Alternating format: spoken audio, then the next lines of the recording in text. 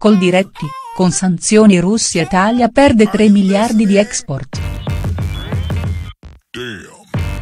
Le esportazioni italiane in Russia sono state inferiori a 8 miliardi nel 2017, circa 3 miliardi in meno del 2013, l'anno precedente all'introduzione delle sanzioni.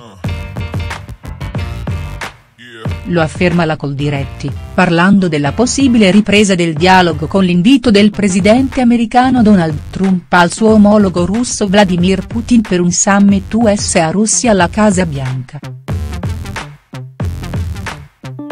L'export di alcuni prodotti agroalimentari in Russia è stato completamente azzerato.